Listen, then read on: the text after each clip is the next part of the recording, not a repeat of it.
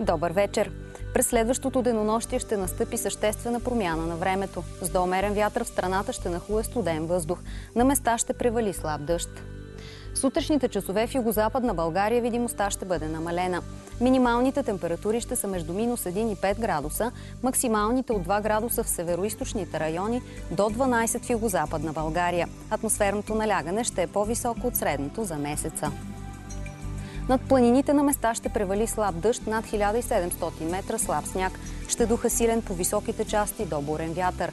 Температурите ще се понижат. И над Балканите ще застудее. Ще превалява дъжд на места слаб сняг. Предимно слънчево ще остане времето в западните райони на полуострова. Над Франция се очакват слаби превалявания.